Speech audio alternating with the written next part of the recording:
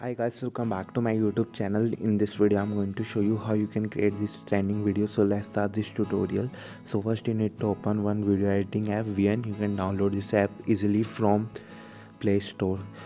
After that you have to skip this ad. Going to go to this plus option. Now go to this new project option and you have to add one video. I will provide this video link in description. You can download it from there now you have to delete this watermark video. After that go to this plus option photos video option and you have to add one photo you like. Now we to add music here so you have to go to this music option. I will provide this audio link in description. You can easily download it from there. After that you have to reduce this photo duration we have now we have to add effect here. Now you have to select this photo go to this effect option and you have to add here zoom in effect.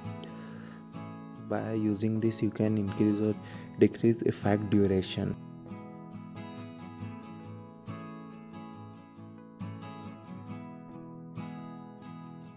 In this easy way you can create this trending video. If you like this video please like comment share and subscribe for more videos like this in future